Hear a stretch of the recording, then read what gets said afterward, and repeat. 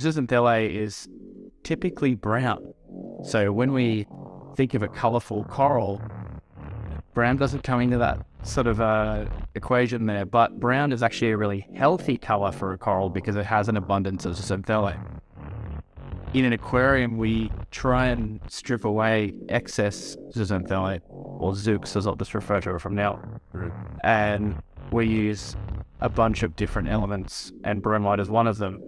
As a regulator, it regulates the amount. Depending on how much you dose, the more you dose, the more is stripped out. It essentially bleaches the coral, but in a good way.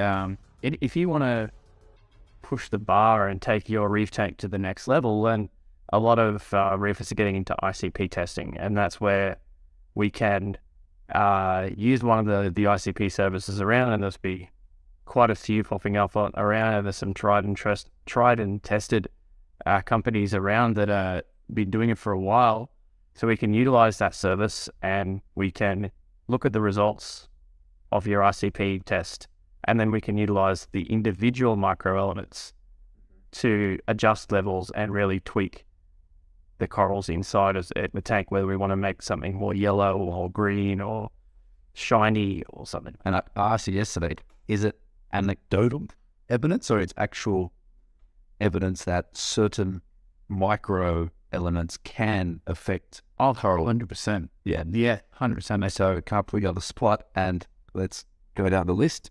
I don't have a list here. Let's just so start from B bromide. Yeah, bromide is uh, fantastic for uh, so it's one of those Zooxanthellae, reg- uh, Zooxanthellae regulators. So Zooxanthellae is a symbiotic algae within a coral, Mm. and we call it. So Zooxanthellae is typically brown. So when we think of a colorful coral, brown doesn't come into that sort of uh, equation there. But brown is actually a really healthy color for a coral because it has an abundance of Zooxanthellae. In an aquarium, we try and strip away excess Zooxanthellae, or Zoox as I'll just refer to it from now. And we use a bunch of different elements, and bromide is one of them.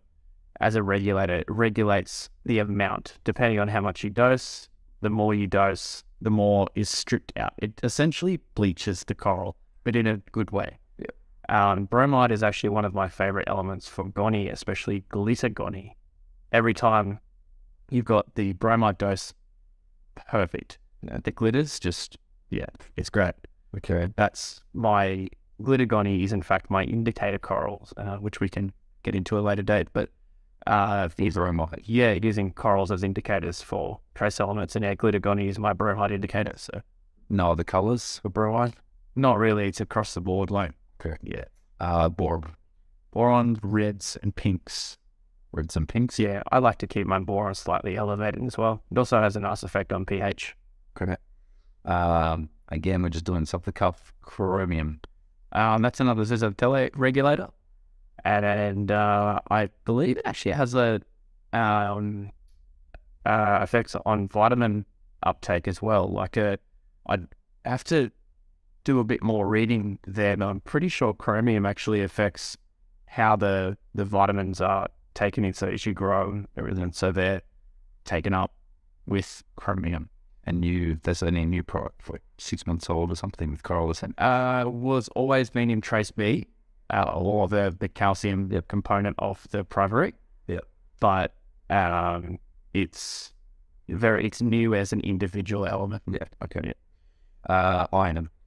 Iron is good for macroalgae. So if you're doing a refugium, you can your iron will be depleted really quickly. In general, even without macroalgae, iron is just sucked out of your aquarium really quickly.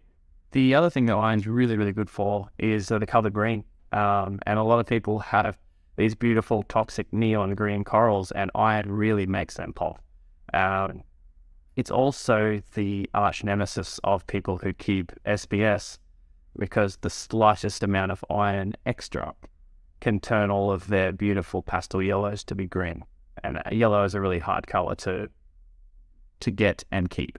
So iron's one of your overdosing indicators there. So do you don't? So you don't dose iron there? Oh, definitely dose it. Yeah, yeah, yeah. It's it's dosed, but you just uh, in in therapeutic amounts. So that's why, like with the primary care and the the the, the amounts that are in it are what we've tested on the farm and everything. But you can dose more if your aquarium's using more.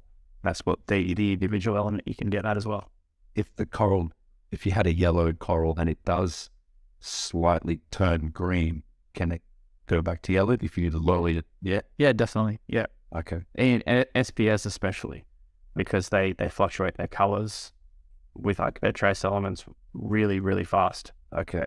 Uh, iodine Iodine, great for soft corals. Um, as a uh, like a disinfecting cleansing or the color in yeah, like a, it's a tissue builder in soft corals. So yeah, they yeah like discosoma or the mushroom corals and uh, soft corals like leathers and toadstools, sinularia.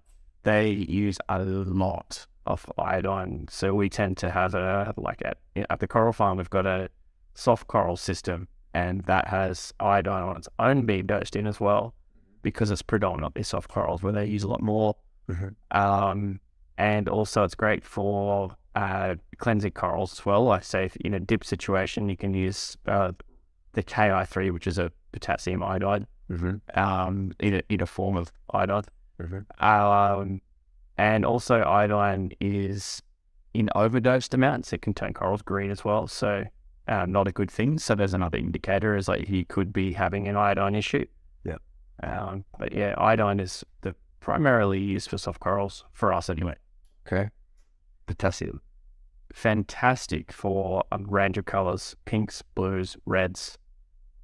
Um, Can you so yes, but it gets a bit. Uh, potassium overdose is uh, kind of like typically noticed in SPS again. So it, I'm going to refer to things being noticed in SPS a lot more when we're referring to uh, trace element overdose because SPS are the first corals that are affected. They're very very reactive and delicate and silky at the slightest changes. So when we're talking about potassium, there we go uh, a little bit tied with nitrate here, but we can get burnt SPS tips and sometimes uh, the base of corals tends to peel up a little bit when you've overdosed. Uh, otherwise, it's one of the most important, like it's hugely important to be kept and continuously dosed. Um, it's one of the big components in coral skeleton as well.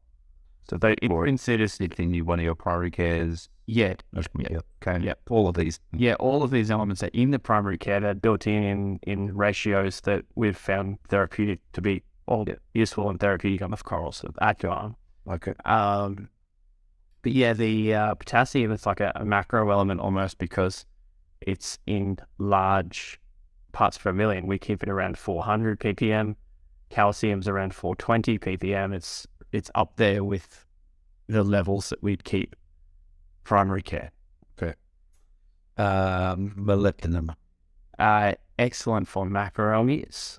Um, pretty much, um, pretty much all we really use that for, to be honest. So no corals really. Yeah, at, at this stage, like with, um, with the entire, uh, I don't know, like farming of corals and and and what's there to learn. We're always learning things like that. So, um, we know that these elements are important, and so far we kind of just use them for the macroalgae and side of things. But when we do have MO, well, out for molecular um, I generally shorten them when they're tongue-tied. um, yeah, the uh, when we have our MO in check, we do notice that corals are generally happier and nicer. And whether you can correlate that directly to MO or that all of the other elements in check as well. But um, we're always testing corals or testing on corals and testing elements, and and that's so we're continuously learning, and we might be able to pinpoint exactly what MO does in the near future because we have a broad range of corals that we can test on. And Okay. yeah, Um, another new trace you just brought up, I'm sure is in your traces now, is um, manganese. yeah, manganese is excellent. Okay. So why didn't you guys release it like Throughout as individual, Yeah. Well, yeah. um, to Learn more and therefore Well, the reason for the individual elements is the call, the the rise in people doing ICP tests. It's got yeah. So we were finding that people uh, that kept certain species of coral, for for example, acans or micromussa, lordhowensis, tiner corals, and gonies especially, really do suck down manganese. To use that was an example. So in those particular dominated tanks that have those corals, will see depleted amounts more than someone who just has uh, soft corals. So those individual element ranges were brought out so that people using an ICP test service can grab those uh, results back and pretty much adjust everything they want. They can add that directly to their primary care range and dose it as per their aquarium needs. Because all the aquariums are different. Like you can't you can't carbon copy an aquarium from house to house or facility to facility. Even though we just tested and everything on a coral farm, there's still differences between everyone's system. Mm-hmm. Okay, but manganese is one of your go-to. Yeah, it's great. So yeah, a lot of a lot of people. To, I think it's overall going out for health. Okay, um, it, it's a it's great for keeping them extended and um, and it's tied heavily with iron as well. Mm-hmm. Manganese. It's um, said uh, I suspect it could have something to do with reds, but I haven't quite really tested that properly. Okay, but yeah, but reds in LPS specifically. Okay, uh, the nickel. Nickel's another zooxanthellae regulator, um, and also uh, vitamin uptake as well. Um, so when your vitamins tend to be used better when you've got nickel in check, and it's such a minute amount, it is not worth chasing numbers on that one. Like if you're getting an ICP test, it's always zero. You, that's what you want. Okay. You don't want values of nickel, but you just want to, yeah, you just want to know that you're adding it. Okay. Having a zero or undetectable ICP result on nickel is great, as long as you're adding it as well that means your aquarium's using what you've added and it's good. Okay, zinc. Zinc, and another Zooxanthellae regulator.